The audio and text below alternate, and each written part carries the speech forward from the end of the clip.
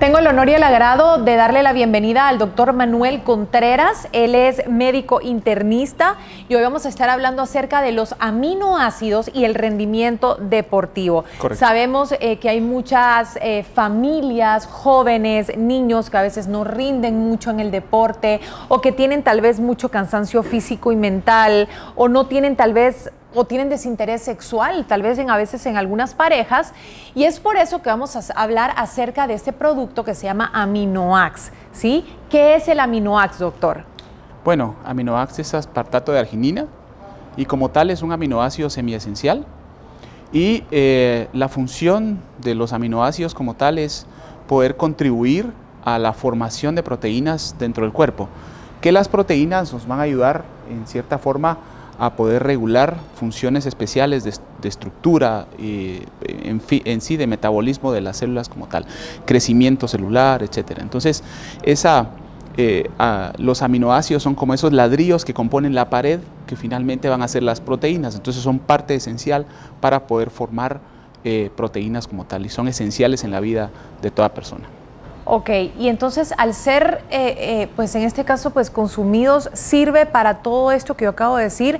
Por ejemplo, si uno tiene cansancio, si uno tal vez, eh, pues ese es interés sexual, que muchas veces parejas dicen, pero ¿por qué lo tengo? O sea, ¿eso puede servir para poder ayudar? Sí.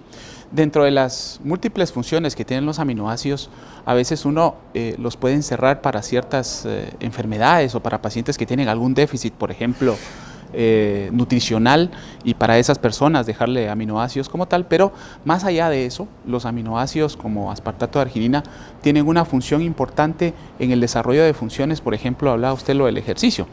Eh, se ha visto que pueden incrementar o se ha visto que pueden eh, mejorar la capacidad física de una persona, de un deportista de alto rendimiento, en pacientes que tienen sobrepeso también se ha visto que ha podido hacer una distribución de la grasa corporal, eso es interesante para para poderlo tomar en cuenta. Eh, se ha visto también eh, en pacientes con disfunción sexual eh, que pueden mejorar la funcionalidad sexual y también la movilidad de los espermatozoides, que es también un, punto importante a tomar en cuenta.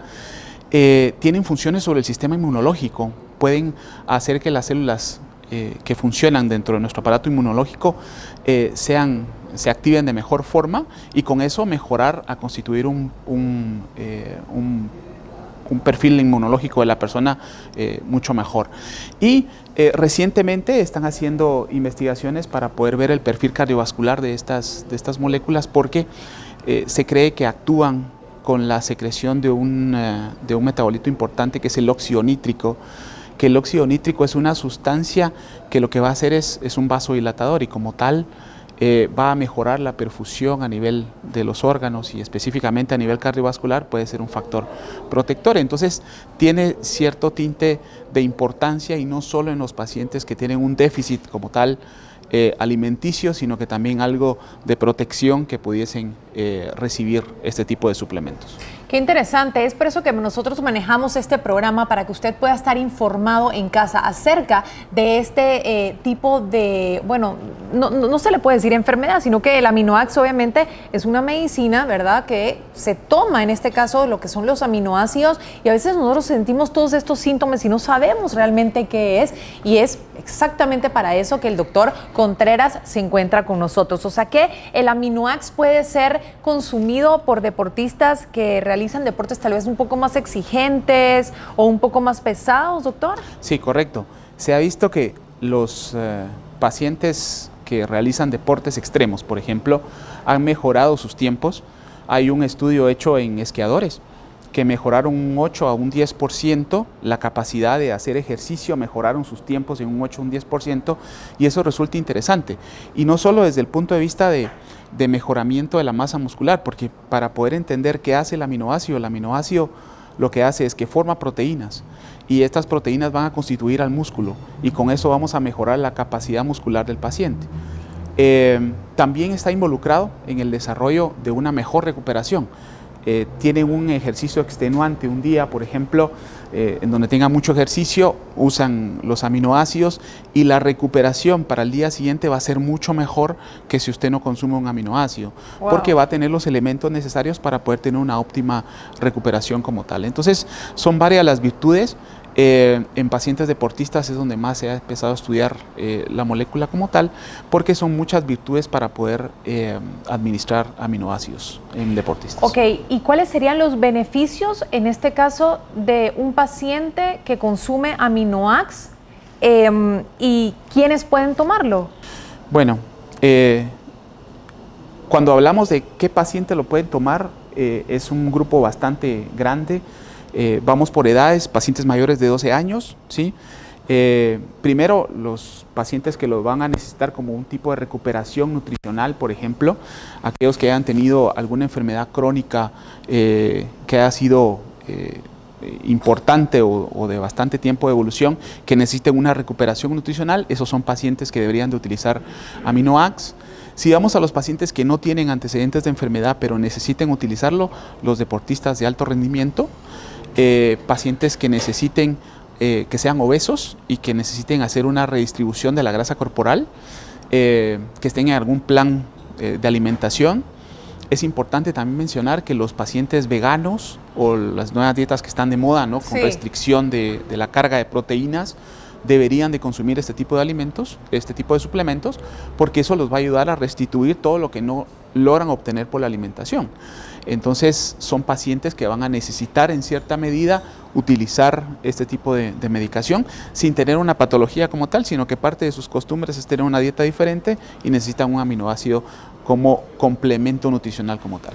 Wow, qué increíble. O sea, que eso, eso vendría siendo, ya, ya respondió la pregunta de quiénes lo pueden tomar y cuáles son los beneficios realmente, que son múltiples. Honestamente, yo no tenía ni idea que los aminoácidos realmente nos podían beneficiar de tal manera, ¿verdad? Entonces, ¿Cuál es la, dosis que usted recomienda de aminoax a los pacientes que en este momento dicen, bueno, tengo estos síntomas, quiero comenzar a tomar aminoácidos? ¿Cuál es la dosis recomendada de aminoax? Ok, la dosis que uno recomienda o la habitual es administrar eh, arginina entre 3 a 5 gramos diarios que se puedan consumir con la, alimentación. Eh, y la dosis que trae el medicamento del que estamos hablando son 5 gramos de arginina que lo recomendable es administrarse con un tiempo de comida para poder tener una mejor absorción del nutriente y aprovechar las virtudes del medicamento como tal. Qué increíble. Bueno, doctor, y, ya para finalizar, cuéntenos algunos efectos secundarios. Ya hablamos de los beneficios, para qué sirve, quiénes lo pueden tomar. Sabemos que a partir de los 12 años, ¿cuáles serían los efectos no deseados o secundarios al eh, consumir aminoax? Al ser una molécula que, o al ser un componente que está presente en el cuerpo, no debería de causar reacciones secundarias. Pero los componentes de la, o con lo que se combina la droga para poderse administrar al cuerpo, pudiesen causar en algún momento algún proceso alérgico. Muy raro, reportado menos del 3% después del consumo de, ese tipo de medicamentos. Y em, básicamente no debería de haber eh, reacciones como tal. Las que han sido reportadas, diarrea, estreñimiento, por ahí que son las más, más comunes. que a la hora de omitir el medicamento, al hacer una toma, eh, ya omitir la toma, los síntomas desaparecen sin administrar ninguna terapia alterna. Eh, bondades, no, no, se han visto reacciones alérgicas importantes con el consumo de, los medicamentos como tal, y entonces eh, para hacer un medicamento bastante seguro de administración en todo tipo de pacientes, siempre mayores de 12 años. Siempre mayores de 12 años, recuerde eso muy bien, mayores de 12 años. ¿Alguna recomendación final que le quiera eh, pues brindar a todos los televidentes que lo están viendo a través de nuestro canal de YouTube, doctor? Gracias. Y lo importante es que muchas veces cuando miramos este tipo de, de, suplementos como tal, pensamos solo en instancias cuando tengamos una enfermedad, pero hay veces en donde necesitamos este tipo de suplementos sin tener una patología. Y no nos damos cuenta. Y no nos damos cuenta. Entonces, si nosotros en nuestra vida diaria hacemos ejercicio y necesitamos mejorar nuestra masa muscular, por ejemplo, este tipo de suplementos puede ayudarnos a mejorar la capacidad muscular, a mejorar el tono muscular de, un paciente como tal. El paciente obeso eh, puede ayudar a mejorar la distribución como tal. Entonces son muchas virtudes. Eh, no solo esperar a utilizarlo en una situación eh, de enfermedad como tal o de recuperación nutricional, sino usarlo como un preventivo, usarlo como un medicamento que le puede servir para poder evitar eh, y mejorar las condiciones actuales de los pacientes como tal. Perfecto, doctor. Muchísimas gracias. Están apareciendo los datos del doctor en pantalla. Doctor Contreras, por si usted tiene tal vez alguna otra pregunta, consulta, quiere ir a visitar al doctor y saber un poquito más acerca de los aminoácidos y este suplemento llamado AminoAx. Le agradecemos muchísimo. Gracias a usted en casita por acompañarnos en una entrevista más aquí en Da Salud TV.